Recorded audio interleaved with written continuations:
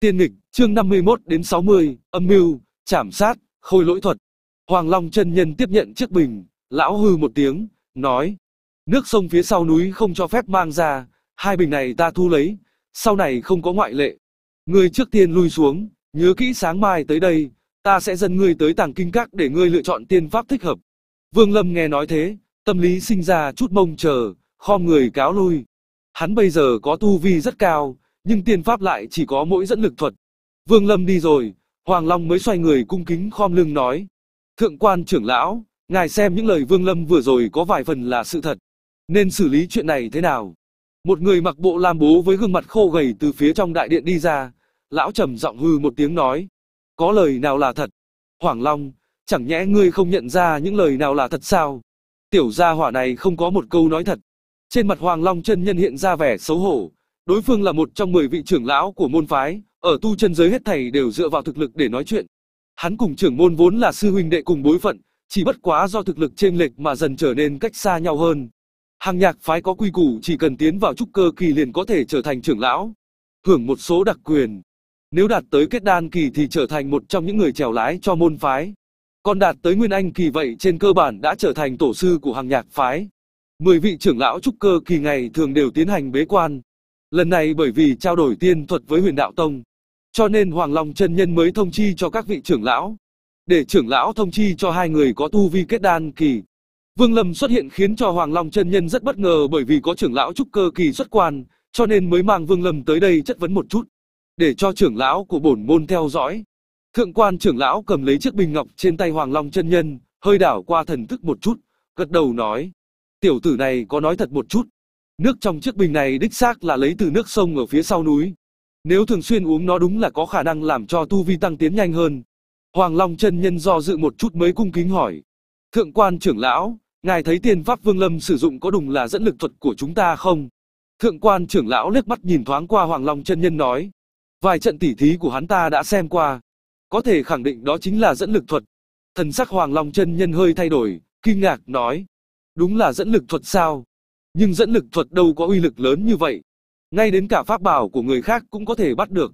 Thượng quan trưởng lão hừ lạnh một tiếng, nói: Bất cứ loại pháp thuật gì nếu tu luyện trong một thời gian dài đều sẽ sinh ra một chút tác dụng thần diệu. Bất quá. Đối với trúc cơ kỳ mà nói. Điều ấy cũng không tính là cái gì to tác. Dẫn lực thuật là trụ cột trong tu chân giới. Càng là trụ cột thì nó càng được truyền lưu từ rất xưa. Đạo lý này ngươi đến bây giờ vẫn không hiểu rõ sao. Hoàng Long chân nhân vội vàng gật đầu. Thượng quan trưởng lão trầm ngâm một chút nói. Tu vi của đứa nhỏ này đích xác là tầng thứ ba của ngưng khí kỳ, chỉ bất quá linh lực của nó vô cùng khổng lồ, ta cũng không thể nhìn thấu.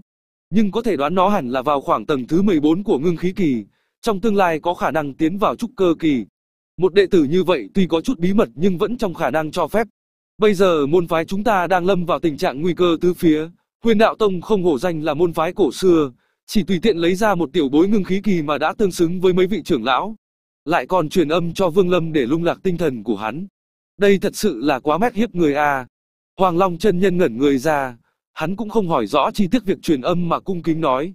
Hoàng Long tuân mệnh, thượng quan trưởng lão, huyền đạo tông nói mấy việc liên quan tới các tổ sư của phái ta. Thượng quan trưởng lão thở dài, trên mặt hiện vẻ lo lắng, lắc đầu nói. Tổ sư của chúng ta đã 300 năm không truyền lại tin tức gì, sợ rằng... Ôi! Việc này ngươi không cần phải xen vào, nếu huyền đạo tông muốn cướp lấy hàng nhạc phong của chúng ta thì chuyện đó không thể tránh được. Triệu quốc vô cùng rộng lớn, chúng ta tự sẽ có chỗ khác dung thân. Hừ, một khi hai vị sư tổ đột phá kết đan tiến vào Nguyên Anh thì hết thảy mọi nhục nhã có thể đòi lại. Hoàng Long chân nhân cười khổ một tiếng, sau đó gật đầu không nói tiếp. Vương Lâm sau khi rời khỏi đại điện, dọc theo đường đi đều bị các nội môn đệ tử chú ý tới, thái độ của bọn họ vô cùng cung kính, so với hôm trước căn bản là một trời một vực. Thực lực, tu chân giới dựa vào thực lực để nói chuyện với nhau, điều này thật sự là không sai à. Vương Lâm có chút cảm khái, về tới dược viên của tôn đại trụ. Vừa mới tiến vào trong sân, hắn lập tức nhìn thấy gương mặt hòa ái mỉm cười của tôn đại trụ. Lão đang nhanh chóng tiến lại gần, nói. Hảo đồ nhi, vi sư chờ ngươi đã nửa ngày, mau tới đây. Đây là do thầy tự mình pha một ấm cực phẩm rượu trà, uống một cốc lấy lại tinh lực nào. Vừa nói, hắn từ chiếc bàn ở giữa sân cầm lên một chén trà, tự mình rót ra đưa cho Vương Lâm. Ánh mắt Vương Lâm trở nên cổ quái, tôn đại trụ biến hóa quá nhanh, làm cho hắn có chút phản ứng không kịp. Tôn đại trụ vừa nhìn vẻ mặt Vương Lâm lập tức xấu hổ cười, ánh mắt có chút thành khẩn nói. Vương Lâm, ta làm sư phụ quả thật không làm hết chức trách, trước kia chúng ta có rất nhiều hiểu lầm. Vương Lâm vẫn chưa tiếp nhận chén trà trong tay lão, thần thức của hắn hơi đảo qua, phát hiện bên trong chén trà đích xác có ẩn chứa một bộ phận linh lực nói. Đệ tử có chút mệt mỏi, trà này sẽ không uống. Tôn đại chủ vội vàng nói. Mệt mỏi. Vậy cần phải nghỉ ngơi, nơi ở trước kia của ngươi quá nhỏ, như vậy đi, từ nay ngươi bắt đầu ở trong phòng của ta. Thần sắc Vương Lâm vẫn bình thường, nhưng nội tâm của hắn lại âm thầm cảnh giác, nếu trong môn phái có người nào khiến cho hắn đề phòng nhất thì chính là tôn đại chủ. Vì vậy hắn lắc đầu nói, không nên. Đệ tử cũng không ở lại mấy ngày, qua một đoạn thời gian lại tiếp tục tiến vào hậu sơn để bế quan tu luyện. Tôn đại chủ há mồm nói gì đó, nhưng Vương Lâm đã vội vàng cáo lui, nhanh chóng quay về phòng. Ánh mắt tôn đại chủ thay đổi, liếc mắt nhìn chén trà trong tay, ánh mắt ẩn hiện hàn quang. Vương Lâm quay đầu lại, trên mặt lộ nụ cười mỉm, thâm ý nhìn tôn đại trụ. Gương mặt tôn đại trụ có chút cứng đờ, lão cười nói. Hảo đồ nhi, còn có chuyện gì sao? Ánh mắt Vương Lâm lộ ra vẻ châm trọng, tiến lên phía trước vài bước, nói. Sư phụ, người hình như rất khẩn trương. Tôn đại trụ thầm giật mình, lui lại sau mấy bước, mạnh mẽ chân an tinh thần nói. Vi sư đích xác có chút khẩn trương, thực lực của đồ nhi vượt qua ta rất nhiều, mà bản thân vi sư lại chỉ có thực lực tầng thứ 5 của ngưng khí kỳ mà thôi. Vương Lâm đưa mắt nhìn chén trà, đột nhiên nói. Sư phụ, nước trà này, người uống giúp đệ tử đi. Sắc mặt tôn đại trụ nhanh chóng thay đổi, hắn cười nói. Điều này sao có thể? Đồ nhi đã không uống thì ta chỉ đành. Vừa nói tới đây, hắn lập tức vứt chén trà trên tay xuống, thân thể nhanh chóng lui lại phía sau vài bước, thân hình lập tức tiến lại chỗ cửa dược viên. Sư phụ, uống nó đi. Sắc mặt Vương Lâm khác thường, dẫn lực thuật được hắn sử dụng đón đỡ lấy chén trà đang sắp chạm mặt đất, đưa tới trước mặt Tôn Đại Trụ. Hắn thở dài một tiếng, Tôn Đại Trụ hiển nhiên không có hảo ý, nước trà này xem ra có chút vấn đề à. Sắc mặt Tôn Đại Trụ thay đổi bất định, sau đó đột nhiên nhíu mày nói. Vương Lâm, xem ra đồ nhi đối với vi sư có chút hiểu lầm, chén trà này ngươi cho rằng có gì khác thường sao? Được, ta uống. Tôn Đại Trụ cầm lấy chén trà ở trên không, liếc mắt nhìn Vương Lâm sau đó đỡ lấy, lão uống cạn chén trà rồi ném xuống đất. Bất mãn nói, được rồi, trưởng môn sư bá tìm ta có chuyện để bàn, nếu ta đến chậm chính là bất kính, có chuyện gì trở về hãy nói. Lão vừa nói vừa thối lui lại phía sau. Ánh mắt Vương Lâm chợt lóe lên. Thân thể hắn nhanh chóng động. Sắc mặt tôn đại trụ đại biến. Đang muốn lui lại phía sau. Nhưng tu vi của lão mới chỉ là tầng thứ 5 của ngưng khí kỳ. Như thế nào có thể so sánh được với Vương Lâm? Trong nháy mắt, Vương Lâm đã tới bên người tôn đại chủ, Ánh mắt hắn lóe lên hàn quang, đưa tay vỗ nhẹ lên ngực tôn đại chủ. Mới vừa rồi sau khi lão uống xong chén trà, Vương Lâm lập tức chú ý tới xem đối phương đã chính thức uống chưa, hay là dùng linh lực ở trong cơ thể bao lấy nước trà. Sau một vỗ lại, linh lực của tôn đại trụ lập tức phân tán, nước trà lộ ra, nhanh CH phân bố trong cơ thể tôn đại trụ. Sắc mặt tôn đại trụ xám như cho, hơi có vẻ tức giận, nghiêm nghị nói. Vương Lâm, ngươi muốn làm gì? Ngươi định khi sư diệt tổ sao? Ngươi nếu giết ta hàng nhạc phái sẽ không bỏ qua cho ngươi đâu. Vương Lâm không có ý định đáp lại. Thần thức hơi đảo qua xem xét nước trà trong cơ thể của tôn đại trụ.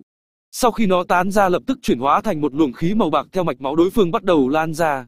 Ngay khi tôn đại trụ cảm giác được không ổn, đang muốn nói chuyện, nhưng đã chậm, nó nhanh chóng tiến vào não bộ, trong nháy mắt vẻ mặt dữ tợn của lão chạm rãi thư thái trở lại. Vương Lâm nhìn chằm chằm vào tôn đại trụ, lập tức phát hiện ra có điều không thích hợp, ánh mắt đối phương rõ ràng không còn chút tự chủ nào. Hắn trầm ngâm một chút nói, sư phụ, đệ tử cũng không phải muốn khi sư dệt tổ, mà đối với hành động ác ý của người, nước trà này nếu người đã uống xong ta cũng không thể làm gì bất nghĩa với người. Ánh mắt tôn đại trụ có chút thẫn thờ, đột nhiên nói, nước trà không thể uống. Vương Lâm ngẩn người ra, đánh giá lại một lần nữa tôn đại trụ, đột nhiên hỏi, tại sao không thể uống? Trong nước trà có tam thi tuyến trùng thảo. Ánh mắt tôn đại trụ có chút mê man nói. Trong mắt Vương Lâm lóe lên hàn quang, hỏi. Tam thi tuyến trùng thảo có tác dụng gì? Trong một thời gian ngắn có thể khống chế mọi hành vi của người uống, là một trong những vật phẩm cần thiết để luyện chế khôi lỗi. Ánh mắt Vương Lâm lộ ra một tia sát khí, nhưng hắn vẫn bình thản nói. Tại sao muốn cho ta uống nó? Từ khi phát hiện ngươi có linh khí hồ lô, trong lòng ta luôn có nghi hoặc, cho nên mới nhận người làm đệ tử. Vốn định trước sau khi ngươi tiến vào ngưng khí kỳ sẽ thực hiện sư hồn thuật với ngươi. Nhưng bởi vì trước đó đã cho ngươi ăn hóa linh thảo, cho nên cảm giác ngươi trong vòng 10 năm không thể đạt tới ngưng khí kỳ. Việc này mới bỏ qua, nhưng không ngờ trong trận tỉ thí hôm qua, thực lực của ngươi đột nhiên tăng mạnh, vẻ mặt ta tuy rất vui mừng, tuy nhiên trong lòng lại càng cảm thấy nghi hoặc. Suy nghĩ một chút liền cho rằng ngươi nhất định có tư tàng tàng linh khí hồ lô, thậm chí còn có một chút bí mật, ta cũng muốn đề cao tu vi cho nên mới chuẩn bị chén trà này cho ngươi. Vương Lâm hít sâu một hơi khí lạnh, hỏi, hóa linh thảo có tác dụng gì? Chuyện của ta ngươi có nói qua với người khác hay không? Còn có tam thi tuyển trùng thảo ngươi vì sao lúc đầu không sử dụng với ta? Hóa linh thảo là vật phẩm cần thiết khi muốn tán công, nó có tác dụng làm tiêu tán linh khí trong cơ thể. Chuyện liên quan tới ngươi, ta vẫn chưa nói cho người nào biết. Trước tiên là bởi vì sợ hãi người ta sẽ đoạt hồ lô của ta. Sau bởi vì chuyện quá mức đột ngột. Ta nếu nói ra đối với mình cũng không có chỗ tốt bằng chính mình tự hành động. Tam thi tuyến trùng thảo lúc đầu ta không có, mà năm ngoái khi xuống núi, lấy trộm điển tịch của môn phái để trao đổi với một vị bằng hữu. Vị bằng hữu đó từng nói qua, dưới trúc cơ kỳ xác suất có thể thành công là 10 thành. Hơn nữa loại dược thảo này không màu không mùi, khó có thể phát giác được. Ta vốn định dùng trên người cảm tam sư điệt để chuẩn bị luyện chế tạo hóa đan. Vương Lâm giận dữ, cười lạnh nói. Ngươi không sợ sẽ bị người ta phát hiện sao? Vì muốn có bị mật trên người ngươi, ta cố gắng một chút cũng không sao. Tuổi của ta đã lớn, nếu không tiến bộ thêm được một bước, thì cuộc đời này không có khả năng tiến vào trúc cơ kỳ. Kỳ thật ta cũng không nắm chắc sẽ thành công, ta đánh cược một lần, cho nên mới chuẩn bị sẵn chén trà. Ngươi nếu trở về ta sẽ cố gắng để cho ngươi uống, còn nếu ngươi không trở về chắc chắn đã được trưởng môn sư bà an bài ở chỗ khác, từ nay về sau ta sẽ không có cơ hội xuống tay. Hàn quang trong mắt Vương Lâm trượt lóe lên, giọng hắn lạnh như băng nói. Ngươi vừa rồi nói trưởng môn tìm ngươi, có chuyện này không? Không có. Tôn đại trụ vừa mới nói hết, cánh tay của Vương Lâm nhoáng lên một cái đã đập xuống đầu hắn, từ thất khiếu lập tức chảy ra máu, rồi ngã xuống đất. Vương Lâm nhìn thi thể tôn đại trụ, nội tâm hắn có cảm giác không nói nên lời. Dù sao đây cũng là lần đầu tiên hắn giết người, hơn nữa lại giết chính sư phụ của mình. Trầm mặc hồi lâu, Vương Lâm thu hồi thi thể tôn đại trụ sau đó nhanh chóng tìm đường rời khỏi hàng nhạc phái, tới mộ chỗ khe núi liền vứt thi thể hắn vào trong đó. Sau khi trở về phòng, Vương Lâm khoanh chân ngồi trên giường, thần thức đảo qua, bốn phía căn phòng đều để lại một tia dấu vết, nếu có kẻ nào dò xét hắn sẽ lập tức phát hiện ra. Làm xong xuôi, hắn xuất ra hạt châu thần bí, trầm tư đứng lên. Ba ngày trước, văn tự bên trên bề mặt hạt châu đã hoàn toàn biến mất, lại xuất hiện hình một lá cây nhàn nhạt. Đối với điều này, Tư Đồ Nam đã nói rằng đó do là thủy nguyên tố trong ngũ hành nguyên tố đã viên mãn, bây giờ đến lượt mộc nguyên tố. Nhân việc này, hắn đã không chỉ một lần thúc giục Vương Lâm rời đi hàng nhạc phái, đi tìm tài liệu có mộc thuộc tính, nhanh chóng bổ sung mộc thuộc tính cho hạt châu nghịch thiên này. Đối với tu vị của chính mình, Vương Lâm bây giờ đã có những kiến giải nhất định. Hắn biết giờ hắn đã đạt tới tầng thứ 14 ngưng khí kỳ. Nhưng điểm kỳ lạ là mặc dù hắn không có khẩu quyết mà vẫn có thể tu luyện đến cấp bậc này. Điều này có quan hệ rất lớn đến tư đồ nam. Nắm hạt châu, hắn tiến nhập mộng cảnh giới, ngay một khắc trước khi tiến nhập, hắn lập tức đem hạt châu cất vào túi chữ vật bên người. Trong mộng cảnh giới, Vương Lâm vừa xuất hiện đã nghe thấy thanh âm bất mãn của tư đồ nam vang lên, trong trận tỉ thí sao ngươi không giết luôn mấy tên đó. Với tính cách của ta, nam thì giết, nữ thì dâm, con rết khổng lồ đó nếu đem ngâm rượu nhất định đại bổ. Hừ. Tuy vậy, tiểu tử ngươi cũng làm được một việc hợp ý lão phu, đó là giết cái tên tôn đại trụ, thật đúng với phong phạm của lão phu. Vương Lâm, ngươi phải nhớ rằng tu chân giới là nơi rất thảm khốc, nhược nhục cường thực. Với tâm tính thuần phác trước kia của ngươi thì không thể sống lâu được đâu. Vương Lâm trầm mặc hồi lâu rồi nói, tiền bối, trước khi tiếp tục tu luyện có nên làm đôi chút chuẩn bị cho trúc cơ kỳ không? Vãn bối vẫn chưa được quan khán chút khẩu quyết nào của trúc cơ kỳ cả. Tư đồ nam hừ lạnh một tiếng, nói, ta biết là được.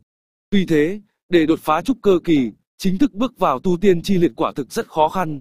Tốt nhất ngươi hãy tìm một chỗ u tĩnh để bế quan, như thế xác suất thành công cũng sẽ tăng lên rất nhiều. Bên cạnh đó, linh khí tuyển thủy đã không còn tác dụng đối với ngươi nữa. Tại lúc quá quan cần đại lượng khổng lồ linh khí, ngươi nên chuẩn bị một ít lộ thủy. Vương Lâm gật đầu, lộ thủy thì tốt rồi nhưng lại cần nhiều thời gian mới thu thập được. Linh động kỳ, cũng là ngưng khí kỳ, trên thực tế chính là sử dụng thiên địa linh khí để cải tạo cơ thể, đều là để chuẩn bị cho trúc cơ kỳ. Ngươi bây giờ đã có thể trùng quan nhưng ta đề nghị ngươi hãy tu luyện đến tầng thứ 15 ngưng khí kỳ hãy bắt đầu trúc cơ. Tư chất của ngươi không được tốt. Dù ta đã hao phí tinh hoa trong 10 năm qua để giúp ngươi cải tạo cơ thể nhưng loại việc nghịch thiên này nếu nhục thân của ta còn tồn tại còn miễn cưỡng làm được nhưng bây giờ chỉ có thể trông cậy vào chính bản thân ngươi. Thôi. Tư đồ nam thở dài nói. Hơn nữa, thủ đoạn công kích của ngươi hiện tại chỉ có một tiên pháp cơ bản nhất là dẫn lực thuật, như thế không ổn lắm. Đáng tiếc ta chỉ nắm giữ những công pháp mà chỉ khi tiến nhập trúc cơ kỳ mới có thể tu luyện. Ngươi mau tiến nhập trúc cơ kỳ, ta sẽ truyền cho ngươi hoàng tuyển thăng khiếu quyết. Vương Lâm ngẩn ra, hỏi, hoàng tuyển thăng khiếu quyết. Không sai, ha ha, công pháp này tại lục cấp tu chân quốc của chúng ta cũng được tính là công pháp tuyệt đỉnh. Đang tiếc khi tu luyện phải tìm nơi trí âm trí hàn, nếu không tiến bộ sẽ rất chậm. Tuy thế, nếu tu luyện ra âm hàn linh lực thì uy lực kinh khủng vô cùng. Luyện đến cảnh giới viên mãn thì nếu gặp được cao thủ của thất cấp tu chân quốc cũng có khả năng liều mạng. Như thế này đi, ngày mai ngươi tiến vào bản môn tàng kinh các nhìn qua. Tuy vậy không thể tu luyện hoàng tuyên thăng khiếu quyết nếu chưa đạt đến trúc cơ kỳ. Tư đồ nam đắc ý nói. Vương Lâm trầm ngâm một lúc rồi gật gật đầu. Còn nữa, Vương Lâm, ngươi không nên đặt hạt châu nghịch thiên này trong túi chữ vật, tốt nhất là treo trước ngực. Như thế không cần ngươi tiến nhập mộng cảnh giới ta cũng có thể trao đổi với ngươi, và ngươi cũng có thể thông qua ta tiến nhập mộng cảnh giới. Thời gian mà Tư Đồ Nam giảng giải cho Vương Lâm chậm rãi trôi qua, trong mộng cảnh giới hai ngày sau Vương Lâm tỉnh lại. Hắn khoanh chân ngồi trên giường, lấy ra thần bí hạt châu, lại uống một ngụm linh khí tuyền thủy, tiếp tục tu luyện. Ngày thứ hai, Vương Lâm đẩy cửa phòng bước ra, thân thể vừa động đã nhẹ nhàng thăng không, hóa thành một vệt sáng phóng về hướng chính điện. Bầu trời trên chính điện, Hoàng Long chân nhân bước ra đã thấy Vương Lâm tiến đến, trên mặt hiện lên một nụ cười hòa ái, so với hôm qua càng rạng rỡ, ôn nhu đạo, Vương Lâm, đi theo ta. Nói xong, hắn tụ tử nhất suý đạp mây bay về phía trước. Vương Lâm vội vàng đuổi theo. Một lúc sau đã đến Thương Tùng Phong, ngọn nhị phong của hàng nhạc phái. Đi qua thạch thai ngày hôm qua tỉ thí, Hoàng Long chân nhân vẫn chưa dừng lại, tiếp tục bay về phía chỗ sâu bên trong Thương Tùng Phong, đến trước một chỗ đầy đá nhô lên lởm chởm thì dừng lại. Hắn nói, Vương Lâm, đây là cấm địa của hàng nhạc phái chúng ta, là nơi trúc cơ kỳ trưởng lão và kết đan kỳ tổ sư bế quan. Thần thức của ngươi không nên dò xét lung tung, lại xúc phạm đến các vị trưởng bối. Vương Lâm vội vàng bảo vâng. Hoàng Long chân nhân hít sâu một hơi, lấy ra một khối tử sắc ngọc bội.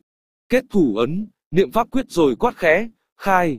Ngọc bội ngay lập tức lóe lên quang mang, một đạo quang cầu lấy ngọc bội làm trung tâm khuếch tán ra, hình thành một quang quyển hình bán nguyệt đủ cho một người đi qua. Hoàng Long chân nhân không nói gì thêm, một cước bước vào. Vương Lâm do dự một chút rồi cũng lập tức đi theo. Ngay khi vừa tiến vào, hắn rõ ràng chứng kiến một tòa lầu các cực kỳ lâu đời. Một tia uy áp từ trên trời giáng xuống làm hắn cảm thấy chút áp lực, huyết khí không thông. Cùng lúc đó, bảy tám đạo thần thức cường hãn ập đến, quét qua người hắn rồi nhanh chóng được thu hồi. Ngay sau đó một thanh âm chứa chút tang thương, từ một tòa lầu truyền đến.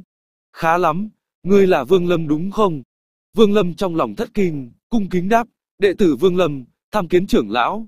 Lúc này đây, thanh âm của tư đồ nam vang lên trong đầu hắn, nơi đây cũng có thể coi như là một cái tiểu môn phái, có 12 trúc cơ kỳ, hai kết đan kỳ. Cũng được. Hoàng Long biến sắc quát khẽ, đây không phải là trưởng lão mà là tổ sư. Vương Lâm ngẩn ra, thanh âm lúc nãy lại vang lên, thôi, lễ tiết của thế tục cũng không có tác dụng gì cả. Lần này người vì bổn môn mà lập được công lớn, Tất cả các pháp thuật bên trong tàng kinh các cho phép ngươi tùy ý lựa chọn. Tàng kinh các bên trong chính điện không thể so sánh với, nơi này, đây chính là nơi cất giữ những điển tịch quý giá nhất.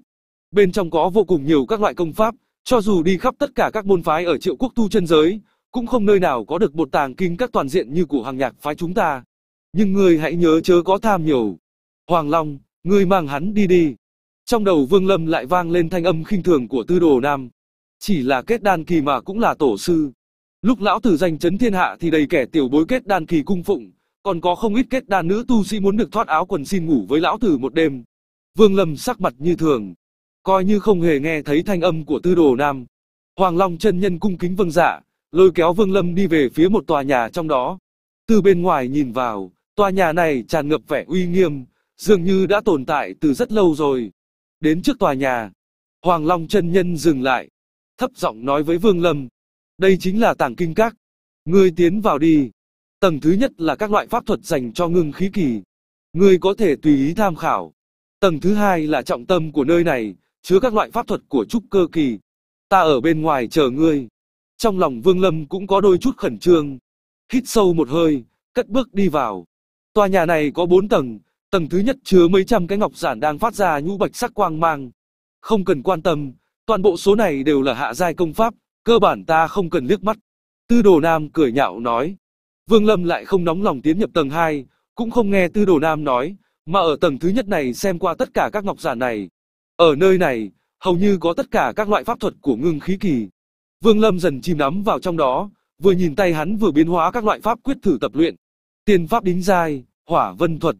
Vương Lâm cầm lên một cái ngọc giản, đọc nhãn ghi phía trên. Đính giai cái con khỉ.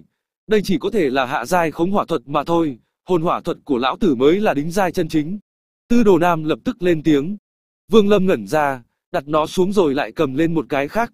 Tiên pháp đính giai, địa độn thuật đáng chê cười, thật đáng chê cười, thứ này ở chỗ chúng ta có đầy cả một đống, lại còn bảo là đính giai, đại ngũ hành độn thuật của lão tử mới là đính giai. Tiên pháp đính dai, phong nhận phá quả thực nực cười, cùng phong túng vân thuật của lão tử còn mạnh hơn nó gấp trăm lần. Cửu thiên hóa lôi thuật, nực cười quá đi mất, rõ ràng không phải chân chính lôi điện thuật lại đặt một cái tên kêu như thế. Hoán tiên thuật, này tiên pháp coi như có chút đặc sắc, nhưng vẫn chỉ là đồ bỏ, đại hoán tiên thuật của lão tử còn lợi hại hơn nó gấp ngàn lần. Trong khi tư đồ nam phê phán gay gắt những loại tiên thuật này, Vương Lâm cũng nhíu hết ra đầu, cuối cùng thật sự không thể tu luyện được đành trực tiếp tiến lên tầng 2. Số ngọc giản ở tầng 2 này cũng không nhiều, chỉ khoảng hơn 10 cái phiêu phủ tại không trung. Đều là đề cấp công pháp, không cần phải xem đâu. Tư đồ nam lại khinh bỉ nói. Vương Lâm cười khổ thầm nghĩ, ngài là tiền bối của lục cấp tu chân quốc, tự nhiên là không coi trọng những loại pháp thuật này rồi.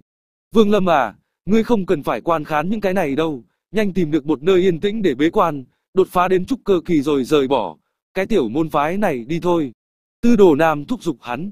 Trải qua những gì tư đồ nam nói, tâm lý chờ mong của Vương Lâm đã tan tành mây khói, Vương Lâm cao mày rời khỏi tàng kinh các. Hoàng Long chân nhân thấy Vương Lâm đi ra, ngẩn người một lúc rồi hỏi. Nhanh như thế mà ngươi đã chọn được công pháp như ý rồi sao? Hãy suy nghĩ cẩn thận. Nơi đây chứa tất cả các loại tiên pháp đính cấp của triệu quốc tu chân giới, người ngoài muốn cũng không có tư cách để tiến vào đây, ngươi không nên vội vã quá mà có điều sơ suất đó. Vẻ mặt Vương Lâm có chút cổ quái, tư đồ nam thì khinh thường còn trưởng môn nhân lại trọng thị. Hắn đành gật đầu nói, đệ tử đã chọn được rồi. Hoàng Long chân nhân nhíu mày, đang muốn hỏi hắn lựa chọn được loại tiên pháp nào thì đột nhiên cả ngọn thương tùng phong rung lên rầm rầm giống như bị động đất. Lão phu phác nam tử của huyền đạo tông, mấy tên tiểu bối hàng nhạc phái nhanh nhanh tiến ra đây. Hoàng Long chân nhân sắc mặt đại biến. Ngay lúc đó, hơn 10 thân ảnh nhanh chóng từ các tòa nhà bên trong phóng ra. Đặc biệt là hai người dẫn đầu rất là bắt mắt, trong đó có một người ánh mắt hữu thần, hạc phát đồng nhan. Bên cạnh hắn còn có một lão phụ nhân. Trên mặt bà đã có nhiều nếp nhăn, thần sắc âm trầm, lãnh đạm liếc qua Hoàng Long chân nhân và Vương Lâm, rồi sau đó nhìn lên bầu trời, trầm mặc không nói. Phía sau hai người có 10 lão giả, vẻ mặt đều mang nét già cỗi, khổ sáp. Vương Lâm, bên ngoài có một vị cao thủ Nguyên Anh Kỳ. Hàng nhạc phái lần này gặp phiền toái lớn rồi. Ngươi tìm cơ hội thoát ra đi, có lão phu ở đây, tạm thời có thể làm cho hắn không phát hiện ra ngươi. Hừ, nếu lão phu còn nhục thể, làm sao có thể sợ hãi một tên Nguyên Anh Kỳ nho nhỏ được. Tư đồ nam vội nói, hiếm khi thấy hắn có ngư khí nghiêm túc như thế. Vương Lâm hít sâu một hơi khí lạnh, trên mặt hiện lên nét âm tình bất định. Hạc phát đồng nhan lão giả cao giọng nói, phát nam tử tiền bối, không biết ngài đến hàng nhạc phái của chúng ta là có chuyện gì, mời ngài nói rõ. Một thân ảnh cao lớn xuất hiện ở trên bầu trời, tai to mặt lớn, nhìn qua rất là uy nghiêm. Hắn trầm giọng nói, nếu là 500 năm trước, lão phu còn có chút cố kỵ hộ san đại trận của hàng nhạc phái các người. Nhưng bây giờ thì không hẳn, đợi lão phu phá trận xong sẽ cùng đán tiểu bối, các ngươi trực tiếp đối diện đàm thoại. Hắn nói xong, hai tay vung lên, một tòa hắc sơn xuất hiện, đón gió phóng to lên, trong nháy mắt đã hóa thành một ngọn cự phong. Hai tay hắn kết thành thủ quyết, trong miệng phát ra mấy câu chú ngữ cổ quái. Cự sơn đó ngay lập tức nện xuống. ầm một tiếng, một đạo quang mạc xuất hiện ở phía trên thương tùng phong và hàng nhạc phong. Quang mạc này bảo vệ cả hàng nhạc phái, ngăn cản cự sơn. Không hỗ là thương thiên đại phái của 500 năm về trước. Đại trận vô hình hóa hư này thật sự có thể phân hóa được tất cả công kích. Tuy thế, lão phu thực muốn nhìn xem nếu không có nguyên anh kỳ tu sĩ tọa chấn, trận pháp này có thể thừa nhận được mấy lần công kích của lão phu. Phác Nam tử cười lạnh, tiếp tục thúc giục của pháp quyết cự, phong lại xoay tròn, không ngừng nện xuống. Sắc mặt của Hắc Phát Đồng Nhan lão giả đại biến. Giữa không trung, một chảo của hắn xé mở một đạo liệt ngân, rồi nhanh chóng bước vào, mấy người phía sau cũng nhanh chóng tiến vào. Hoàng Long chân nhân vội thấp giọng nói, Vương Lâm, nhanh đuổi theo. Nói xong, thân thể như một mũi tên rời khỏi cung. nhanh chóng tiến vào bên trong khe nứt. Vương Lâm cũng bước tới, nhanh chóng đuổi kịp. Lúc này cự phong lại nện xuống, quang mạc phát ra những tiếng nổ long trời lở đất. Thất thải quang mang lại kịch liệt loe lên, khó khăn lắm mới ngăn cản được cự sơn. Vương Lâm theo vết rách tiến vào, thì đã tiến đến thạch thai trên thương tùng phong. Lúc này hạc phát đồng nhan lão giả, lão phụ nhân khoanh chân đả tọa trên hai trong số 8 khối bạch ngọc, thủ ấn pháp quyết liên tục biến hóa. Mà sáu vị trưởng lão trúc cơ kỳ khác chia nhau ngồi trên sáu khối bạch ngọc còn lại, trên mặt họ cũng lộ ra thần sắc bất an. Hoàng Long, nhanh đi gọi tất cả bổn môn đệ tử đến đây. Hôm nay chắc chắn là trường hạo kiếp lớn nhất trong 500 qua của hàng nhạc phái chúng ta. Nói xong lão phụ nhân vội vàng hướng Bạch Ngọc Thạch phun ra một ngụm chân khí, thủ ấn pháp quyết lại biến hóa càng nhanh. Thân thể Hoàng Long chấn động, lập tức lao ra, theo Thạch Kiều trực chỉ hàng nhạc phong bay đi. Hừ, thật sự có thể thừa nhận đến hai lần công kích của lão phu, lần thứ ba này hãy phá cho ta. Phác Nam tử hừ lạnh một tiếng, phun ra một ngụm nguyên anh khí, ngay sau đó ngọn cự sơn rung lên, phóng to đến gấp 10 lần, tựa như có thể che kín bầu trời. Hung hăng nện xuống. ầm một tiếng, một trong số 8 khối bạch ngọc vỡ tan, vị trưởng lão trúc cơ kỳ ngồi trên khối đó thất khiếu đổ máu, thân thể run lên, đổ xuống nền đất. Phá cho ta! Phá! Phá! Khuôn mặt phác nam tử trở nên dữ tợn, bàn tay vung lên điên cuồng, cự phong không ngừng nện xuống. Những tiếng nổ ầm ầm truyền khắp chân trời. Toàn bộ dân chúng ở những thôn làng, thị trấn, thành thị xung quanh đều đóng chặt cửa, không dám ra khỏi nhà. Những kẻ hơi to gan thì hé mở cửa sổ nhìn ra, chỉ thấy một ngọn núi khổng lồ bay lơ lửng giữa không trung, không ngừng nện xuống. Lại một khối bạch ngọc vỡ vụn. Thêm một chút cơ kỳ trưởng lão phun ra một ngụm máu tươi, đổ ập xuống. Phác Nam tử xuất ra một cái hồng sắc hồ lô, trong miệng thì thảo mấy tử, hai tay không ngừng kết ấn.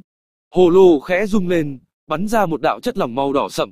Lập tức một đoàn hỏa quang bao vây lấy ngọn cự phong. Phá! Phác Nam tử quát lên một tiếng, ngọn cự hỏa phong lại nện xuống. ầm một tiếng, những vết nứt xuất hiện trên quang mạc, lan nhanh ra bốn phía. Lại có thêm hai khối bạch ngọc vỡ tan, hai người trưởng lão khác ngã xuống. Lúc này, trong tám khối bạch ngọc chỉ còn lại bốn mà thôi. Ngoài hai vị kết đan kỳ tổ sư thì hai trúc cơ kỳ trưởng lão còn lại khuôn mặt đã như cho tàn. Mồ hôi túa ra như mưa, thân thể không ngừng run rẩy, đã tới mức chịu đựng cực hạn.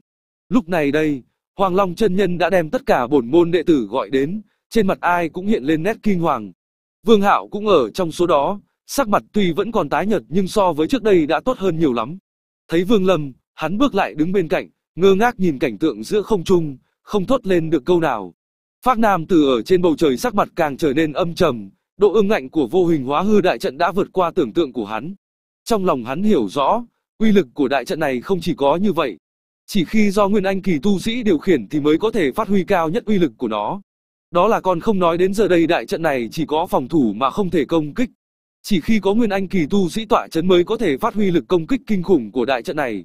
Lúc này, Hạc Phát Đồng Nhan lão giả thấy từng vị trúc cơ kỳ trưởng lão ngã xuống, trong tim như dỉ máu, lớn tiếng hô lên. Phác Nam tử tiền bối, Huyền Đạo Tông và hàng nhạc phái chúng ta luôn có quan hệ tốt đẹp, ngài chẳng lẽ muốn đuổi tận giết tuyệt mới hài lòng ư? Phác Nam tử hừ lạnh một tiếng, lạnh lẽo đáp. Lưu Văn Cử, 500 năm không gặp, tên tiểu bối như ngươi giờ đã là trụ cột của hàng nhạc phái rồi, cũng đạt đến kết đan kỳ tu vị. Ngươi cũng có thể xem như là cố nhân, hủy đi hộ sơn trận pháp này cũng thật đáng tiếc, ngươi nếu tự mở ra đại trận, hết thầy đều dễ đàm luận. Trên khuôn mặt của Lưu Văn Cử hiện lên vẻ do dự. Lão phụ nhân bên cạnh hắn giận dữ nói. Phác Nam tử tiền bối, thứ lỗi cho không thể nghe theo mệnh lệnh của ngài được Phác Nam tử cười lớn một tiếng, sắc mặt trầm xuống, quát. Được, vậy thì hộ sơn đại trận này sẽ hủy đi trong tay ta vậy. Nói xong hắn vung tay phải lên. Cự phong chậm rãi bay lên cao. Hắn hít vào một hơi thật sâu, sắc mặt đỏ lên, mở miệng phun ra một ngụm nguyên anh khí, cự phong lại lớn hơn mấy lần. Xuống. Phác Nam tử pháp quyết biến đổi, chỉ vào cự phong, chậm rãi ép xuống. Cự phong phát ra những âm thanh ông ông, từ từ đè xuống từng tấc một. Một tiếng rắc lại vang lên, mặt trên hồ sơn đại trận, vết nứt xuất hiện càng nhiều. Lại thêm một khối bạch ngọc vỡ vụn, thêm một trúc cơ kỳ trưởng lão ngã xuống. Cự phong lại ép xuống thêm một tấc, trúc cơ kỳ trưởng lão cũng phun xuất một ngụm máu tươi, mặt trắng bệch ngã xuống. Phá! Phác Nam tử hét lớn. Cự phong lại áp xuống thêm ba tấc. Thương Tùng Phong lập tức chấn động, đất đá vỡ tan, bụi bay mù mịt. Đỉnh núi đã bị ép xuống hơn 10 thước. Ngay cả thạch kiều nối với hàng nhạc phong cũng cũng bị gãy đôi, rơi xuống khe núi. Cùng lúc đó, hộ sơn đại trận của hàng nhạc phái rốt cục ngăn cản không được, phát ra thanh âm như thủy tinh gãy vỡ, trong nháy tất cả quang mạc mắt đều phá toái, tiêu tán không còn. Hai khối bạch ngọc còn lại cuối cùng cũng bạo vỡ, Lưu Văn Cử và lão phụ nhân đều ngã xuống mặt đất, khuôn mặt đau đớn, không nói ra lời. Phác Nam tử hừ lạnh một tiếng, thân thể nhẹ nhàng từ trên bầu trời hạ xuống. Cự phong vẫn dừng lại ở giữa không trung, phát ra từng trận uy áp. Sau khi hạ xuống, Phác Nam tử vẻ mặt lạnh như băng, thản nhiên hỏi. Kẻ nào là Vương Lâm? Vương Lâm vốn đã lùi vào bên trong giữa đám đệ tử. Hắn không thể ngờ rằng một vị nguyên anh kỳ tuyệt đỉnh cao thủ này lại đầu tiên là muốn tìm mình. Những đệ tử xung quanh đều đổ dồn ánh mắt về phía hắn. Ánh mắt Phác Nam tử đảo qua, nhìn chăm chăm vào Vương Lâm, nhíu mày thầm nghĩ. Tên tiểu tử này hẳn là Vương Lâm đi. Trước đó hắn nghe Âu Dương tiểu bối nhiều lần nhắc tới hắn, lần tỉ thí này hoàn toàn là thua dưới một. Mình hắn, rất muốn lôi kéo gia nhập hắn vào môn phái. Phác Nam tử vốn luôn thèm muốn tôn tính hàng nhạc phái. Tưởng rằng lần này có Chu Bằng dẫn đầu ra mặt, đương không cần phá hư quan hệ cũng có thể dễ dàng thành công cướp lấy hàng nhạc phái. Nhưng sự xuất hiện của Vương Lâm làm đảo lộn kế hoạch của mình, do đó đành tự mình xuất thủ, dùng thực lực cường đại cướp lấy hàng nhạc phái. Ngươi là Vương Lâm. Phác Nam tử lạnh giọng hỏi. Vương Lâm hít một hơi thật sâu, cung kính ôm quyền nói.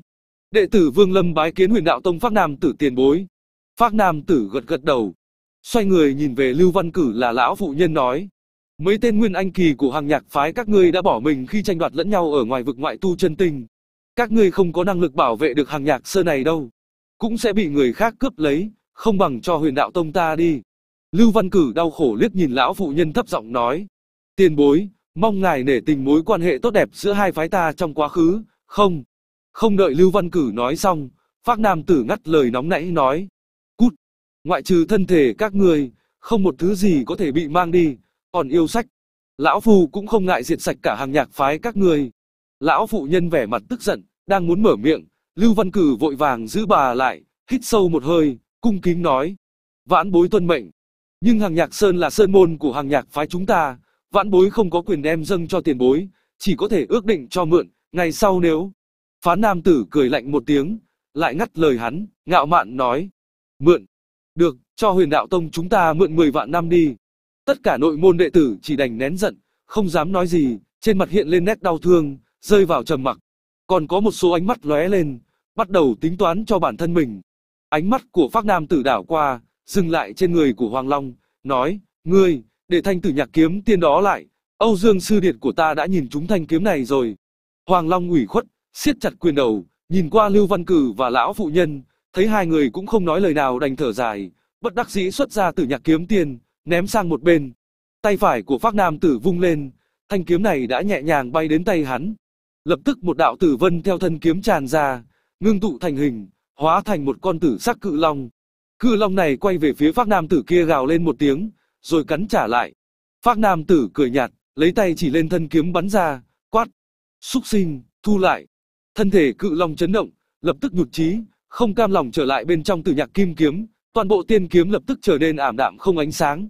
Lưu Văn Cử và lão phu nhân liếc nhau một cái, đều thở dài, lão phu nhân vẻ mặt ảm đạm, nói: "Thôi, tất cả đệ tử phái hàng nhạc nghe lệnh, theo ta rời khỏi nơi này." Nói xong, nàng lưu luyến nhìn thoáng qua bốn phía, lại thở dài một tiếng, cơ thể nhẹ nhàng bay lên không trung. Phác Nam tử nheo mắt lại, đột nhiên nói: "Quyền đạo tông ta ở đây đại chiêu nạp môn đồ, người nào muốn gia nhập, có thể ở lại chỗ này." Mười người trưởng lão trúc cơ kỳ, cả đám sắc mặt kỳ quái, ngoại trừ hai người đứng ở trên không bên cạnh lão phu thân, còn tám người khác thì đưa mắt nhìn nhau, không đi theo. Lưu Văn Cử ngẩn ra, sắc mặt khẽ biến, muốn nói cái gì đó, nhưng cuối cùng lại nói không ra lời, thầm than một tiếng, lắc đầu bay lên không, đứng cùng một chỗ với lão phu thân. Mỗi người đều có chí hướng, không muốn đi theo, thì không ép. Lão phu thân tận đáy lòng cố gắng áp chế, phẫn nộ, trầm giọng nói. Lão già Hoàng Long nhất bối. Cả đám người do dự một phen. Sau cùng ngoại trừ Hoàng Long, Đạo Hư, Hồng Kiểm lão giả ngoài ba người này. Tất cả những người còn lại đều không di chuyển. Chỉ có ba người này. Bay lên không đứng ở phía sau hai người sư tổ kết đan kỳ. Hơn 10 người trong hàng ngũ đệ tử của môn phái. Ngoài 10 người bay lên rồi, phần lớn đều đứng ngay tại chỗ. Vương Trác do dự một hồi lâu, không dám nhìn vào mắt của đạo hư, chân dơ lên lại hạ xuống, cuối cùng cũng không đi theo. Nữ tử họ Chu cũng có chút do dự, cũng không đi theo. Còn cô gái họ Tử, thấy Vương Trác không đi, thì có chút trầm mặc, chân dơ lên lại hạ xuống. Vương Hạo đã có thể đi. Hắn cười khổ một lúc, nói với Vương Lâm. Thiết trụ ca, ta cũng không đi, phải ở lại giúp đỡ cha ta. Ngươi ở đó yên tâm đi, có ta chiếu cố rồi. Vương Lâm do dự một chút, trên người hắn có rất nhiều bí mật. Nếu như đi theo huyền đạo tông, chắc chắn sẽ có rất nhiều nguy hiểm, vì vậy hơi trầm ngâm, mà bay lên. Lúc này, ánh mắt Phác Nam tử lóe lên, nhìn chăm chăm vào Vương Lâm, đột nhiên nói. Vương Lâm, ngươi ở lại. Vương Lâm ngẩn ra, cung kính nói. Phác Nam tử tiền bối, không biết gọi vãn bối lại có chuyện gì. Phác Nam tử ngẩng đầu, lạnh lùng nói. Bảo ngươi ở lại thì ở lại, đâu cần phải nói nhiều như vậy. Lưu Vân Cử do dự một chút, đột nhiên nói. Phác Nam tử tiền bối, Vương Lâm này là đại đệ tử của phái hàng nhạc ta, mong rằng không nên làm khó, để hắn theo chúng ta rời khỏi đây. Chuyện của Vương Lâm hắn cũng nghe được rất nhiều, cũng từng quan sát, đối với một người đệ tử có tương lai sẽ là trúc cơ kỳ, hắn thực sự không nỡ bỏ. Phác Nam tử hừ một tiếng, nói với Vương Lâm, phái hàng nhạc bây giờ hữu danh vô thực, ngươi đi theo bọn họ lang thang chân trời góc biển sao? Ngươi nếu muốn gia nhập vào huyền đạo tông của ta, tương lai chắc chắn sẽ tươi sáng hơn rất nhiều so với việc đi theo phái hàng nhạc. Lựa chọn thế nào, tùy ngươi định đoạt đi, tránh việc này truyền ra ngoài, nói huyền đạo tông ta lên chùa đoạt sư. Trong lòng Phác Nam tử nhận định, Vương Lâm này chỉ cần không phải thằng ngốc, thì sẽ không đi theo phái hàng nhạc. Vương Lâm trầm mặc một chút, không nói hai lời mà trực tiếp ôm quyền, chuyển thân bay lên không, đi tới bên cạnh Hoàng Long chân nhân. Phác Nam tử ánh mắt chớp động, giọng nói lạnh lẽo. Thật là không biết điều. Lưu Văn Cử và Lão Phu Thân, cùng nhìn Vương Lâm một cái thật sâu, lại đợi một lúc. Thấy đám đệ tử phái hàng nhạc đang cúi đầu ở trên mặt đất, không có ý muốn đi theo. Hai người thở dài, Lão Phu Nhân nói. Thôi, ta đi. Nói xong, bà dẫn đầu bay về phương xa, còn lại 10 người, cả đám sắc mặt đau khổ, bay theo. Mọi người phái hàng nhạc, dưới sự dẫn đầu của hai vị sư tổ kết đan kỳ, giống như chó nhà có tang, lặng lẽ hóa thành mấy đạo cầu vồng, từ rất xa rời khỏi phái hàng nhạc. Trên đường đi không có bất kỳ người nào nói một câu, trên mặt ngoại trừ sự phẫn nộ, thì cũng là mờ mịt. Sau một hồi lâu bay trên không, đến khi sắc trời dần tối, Lưu Văn Cử và Lão Phu Nhân bàn bạc với nhau một chút. Dừng lại ở trên một ngọn núi đơn độc, mọi người cũng ào ào đáp xuống.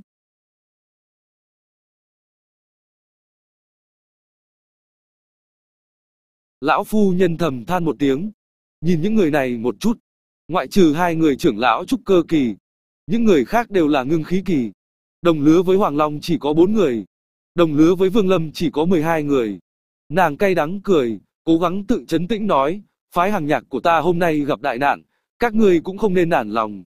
Những chuyện trên tu chân giới này, từ trước đến giờ đều tồn tại những chuyện xấu.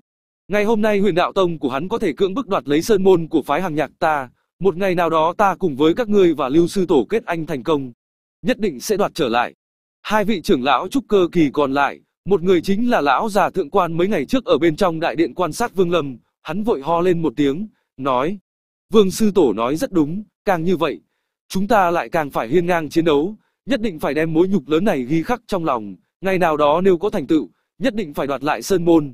Vị trưởng lão trúc cơ kỳ kia có bộ mặt to béo, ông ấy lúc này đăm chiêu ủ rột, nhìn những đệ tử còn lại, nói, đại nạn ập đến làm mọi người phải bay đi, không nghĩ tới phái hàng nhạc to lớn.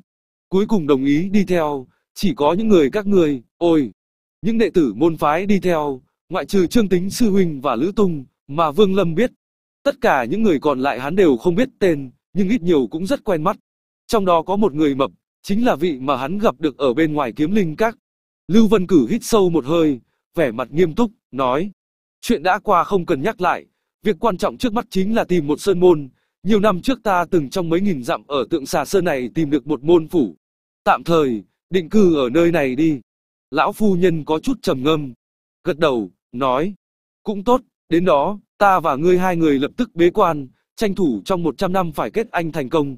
Lưu Văn Cử xoay chuyển ánh mắt, nói với hai vị trưởng lão trúc cơ kỳ. Thượng quan, Tống Dục, hai người các ngươi bảo vệ bốn phía. Ta và vương tổ sư của các ngươi tĩnh tọa để khôi phục linh lực. Đợi khi chúng ta đem linh lực hao tổn của hộ sơn đại trận bổ sung, ta sẽ mang hai người các ngươi bay đi. Như vậy tốc độ cũng có thể nhanh hơn một chút. Thượng quan, Tống Dục vội vàng nghe lệnh. Lưu Văn Cử lấy ra vài miếng ngọc giản, ném lên trên trời, tạo ra một đạo ánh sáng màu xanh. Hai tay đơn giản tạo ra vài cái pháp quyết, lập tức từng trận ngọc giản, hóa thành một tầng ánh sáng, bao bọc trong một phạm vi 20 mét. Làm xong những việc này, hắn ngồi xếp bằng ngay tại chỗ, tay cầm linh thạch, nhắm mắt thổ nạp. Lão phu nhân họ Vương, cũng ngồi xếp bằng giống như vậy, thổ nạp khôi phục linh lực.